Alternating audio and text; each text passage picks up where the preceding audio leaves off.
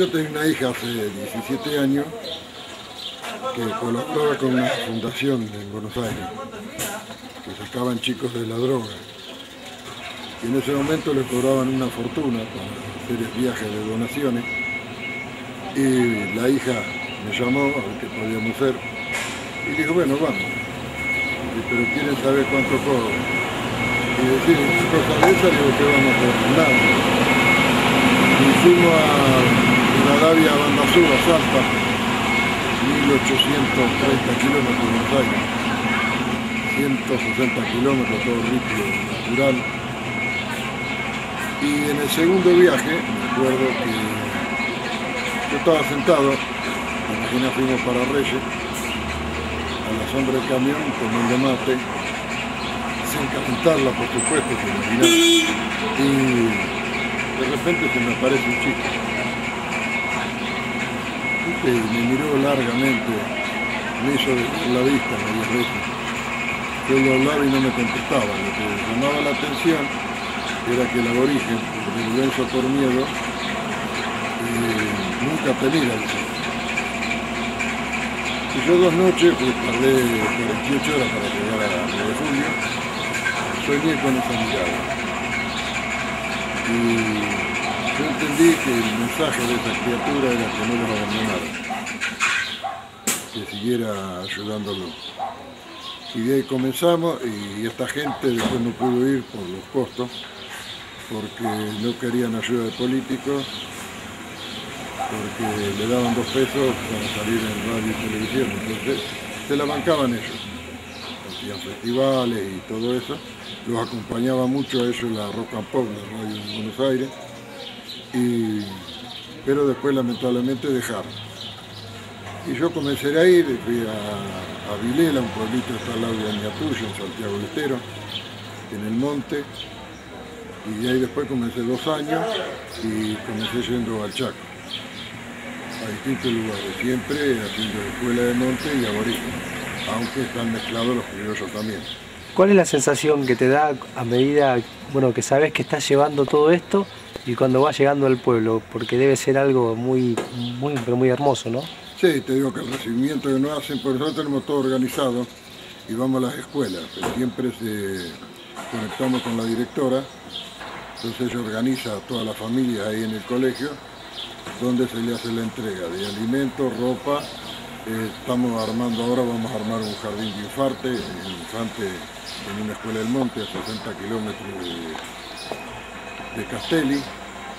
Le llevamos heladera, cocina, que no tiene, eh, computadoras que no tiene.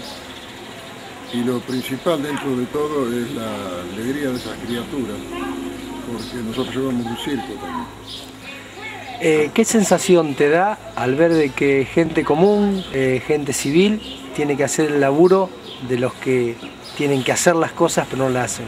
Y mira, uno siente la impotencia, la rabia, porque se malgasta el dinero, porque otra cosa no. En regalitos, en comprar votos y todo, pero a esta gente, como lamentablemente la tiene sojuzgada, es decir, nosotros en muchos lugares que hemos ido a entregar las cosas teníamos que aclarar que no éramos políticos porque nos venían a entregar la libreta. Por eso a veces está el resultado que vemos en las elecciones como son. En Villa Río de por ejemplo, eh, hay un intendente que es descendiente de alemanes, que los odia a los aborígenes. Ya se descubrieron tres casos de nutrición terminales, una criatura de 11 años con 8 kilos, y ahora un matrimonio hace un año con 32 kilos la mujer y 37 el hombre y no se hace nada. En el mismo lugar nosotros tuvimos Fortín de Valle, cerca de ahí, estuvimos encerrados en un colegio como delincuentes, porque nos aumentaron los piqueteros que son de este señor, que son los mismos que atracaron a Patricia Sosa, y están organizados, que no quieren eh, que se les lleve ayuda. Aparte, ¿sabes qué pasa? Que siempre el pueblo argentino ignoró eh, lo que estaba pasando con los aborígenes. Entonces, a través de que lo nuestro se conoció, eh, por los medios de televisión de Buenos Aires, las radios que me llamaban, eh, se le dio a difusión. ¿Y, cómo se mantienen para, hacer semejantes viajes? ¿Cuál es el ingreso? Todo, gasto personal, porque no, no, no aceptamos ayuda de nadie. Pero si se quiere hacer algún evento, algo, algo solidario, sí, ¿no? Sí, sí, no, no, no, hay chicos que organizan, organizan rifas y todo, porque es importante los costos. Vos fíjate, son chicos que son estudiantes, gente de trabajo, tienen grandes costos, aunque se duerme en la escuela, que se come ahí en la escuela también, eh, que hoy cada vez cuesta, más. Yo, por ejemplo, el lema nuestro, el mío, por ejemplo, por eso no hacemos fundación ONG, es que hay que ayudar hasta que duele, cuando duela mucho más, como dijo Teresa de Calcuta. Porque ¿de qué sirve una ONG? Para que el rico figure como benefactor si total descarga de impuestos. esa no es la acción. Yo te digo que yo siempre digo que a los ricos yo los felicito en la vida que hacen. Porque ellos viven pensando, se acuestan, qué va a pasar mañana con el precio de las hojas, qué va a pasar con el dólar. Y yo vivo pensando en esta gente, los que no tienen ayuda de nada, se están muriendo. Ahí están, los están exterminando, mal de chaga, tuberculosis, desnutrición, parasitosis, deshidratada, falta de agua.